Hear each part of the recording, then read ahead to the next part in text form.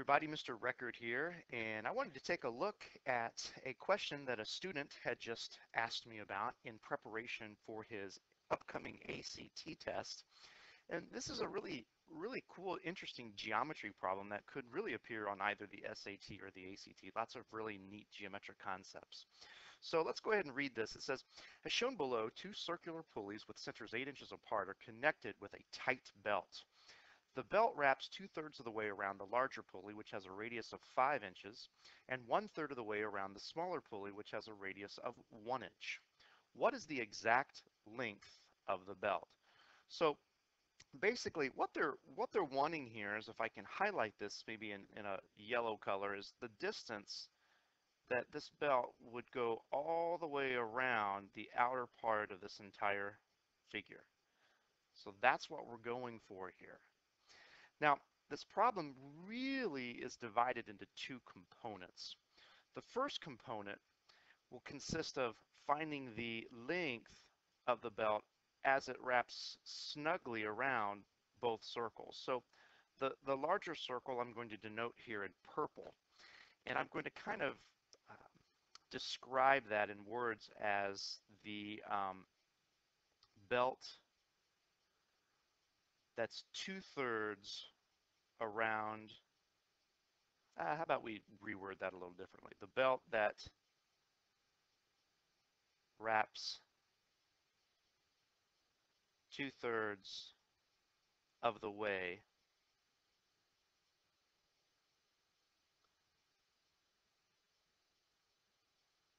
around the five-inch pulley. So in order to find that particular quantity, we're going to rely upon uh, the circumference of a circle, which is given as 2 pi r. That's typically a formula that you're going to be provided with on both the SAT and the ACT. So in this particular instance, I'm going to use my 2 thirds multiplier and then multiply that by 2 pi times the radius, 5 in this case, and that would all give me 20 pi over 3. In much the same way here in green, we're going to find the length around the smaller pulley. So I'll describe that as the belt that wraps one third of the way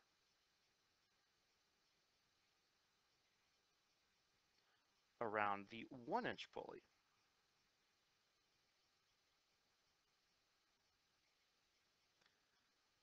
And that would be equivalent to uh, in this case, uh, we would use, whoops, the formula of 1 third times 2 pi times a radius of 1, which would be 2 pi over 3. And then, of course, if I were to add these two quantities together, uh, the results would be 22 pi over 3. Not the prettiest answer in the world, but uh, nothing can really be simplified from that point on, and we do have a significant part of our answer, perhaps the easiest part. I think it's the second part here that's going to provide a little bit more of a challenge because now if I highlight once more in yellow, we are still looking for the length of these two sides. And we can rest assured that those two lengths are the same due to the symmetrical nature of the problem. So if we can find one, we've essentially found uh, them both. Now what I'm going to do here is um, I'm going to extract another shape from the original shape. And, and that shape that I'm going to extract is going to consist of four sides. It's going to be a four-sided figure. So I'm talking about utilizing the length of the belt, the radius of the small circle, the distance between the two radius or center values and then the length of the radius of the larger circle or the larger pulley. Oops. And then if I did this correctly, I should, uh, if all goes well, well, it's all not going all that well, but that's fine. I'm going to go ahead and use uh, two different, uh, I'm going to extract these pieces. I just didn't draw them fast enough. That was the problem. But no worries. I'm going to go ahead and bring that shape over here so that I can kind of work with it, manipulate it a little bit. Now, what's happening in this problem that's very important, and I think it's what a lot of students tend to, to disregard on, on questions such as this, is that when we deal with this, this belt length over here, and if I were to maybe even extend that belt length beyond the pulleys, although that's not a significant part of the problem, what we should notice is that there is a point of tangency to the circle. And there's a very important theorem in geometry that says a tangent line drawn to a circle and the radius of that circle will always meet at what kind of an angle? Yep, you guessed it, a right angle. So you've got that relationship happening two times here. So I'm going to draw that over here in our new picture. Okay. Now, it's probably also worth noting that the angle measure of this particular guy is going to be very important. And he's not very difficult to find. Because if you go back to the picture here, and if I were to draw in this other radius, given the fact that I know that I have gone around two-thirds of the way around this five-inch diameter circle, I have swept out an angle measure here that would be two-thirds of the entire angle measure of the circle. And we know that the angle measure of a circle is 360 degrees, and two-thirds of that 360 degrees is 240 degrees, which leaves a 120 degree angle on the other side. And if that angle measure is cut in half, then we can say that we bisect that perfectly, and thus we would have a 60 degree angle here. And that's going to be very significant because now what I'm going to do is draw in sort of a, a bit of a, a, a hidden line that would connect the lower left hand or right hand part of this picture all the way across that would be parallel, and that's very important. I've drawn something that is definitely parallel to the side that I'm trying to find.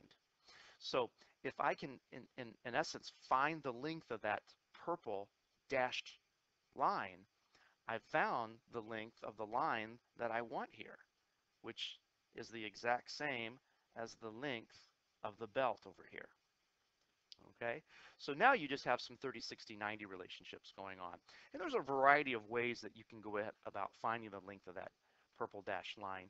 Um, one way I think it's kind of cool is if you know or rely upon the fact that the length of this radius value here was 5, which if you recall was the entire length of this side here, and the length of this side radius value was 1 from the original picture, we can then subdivide the left part of this quadrilateral into a length 1 and to a length 4.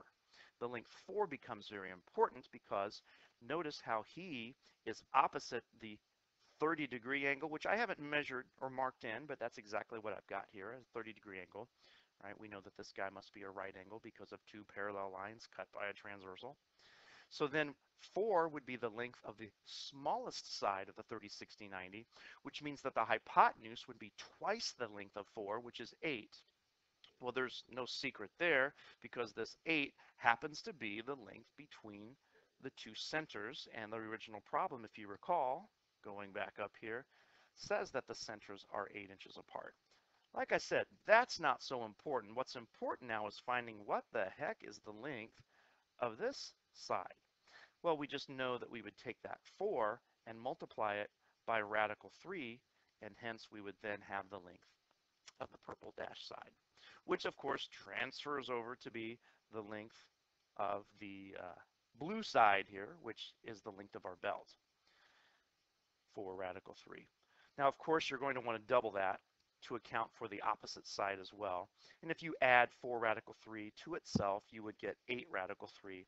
And that's what you end up adding to your original length. Now, if I recall, this particular problem was multiple choice, and this was one of the correct answers. So that can kind of help you as well in, in doing problems such as this. So anyway, I hope that this uh, helped. It's a really good, rich uh, ACT, SAT question. I wouldn't classify this as necessarily an easy one, but definitely one worth taking a look at. Hope you liked it.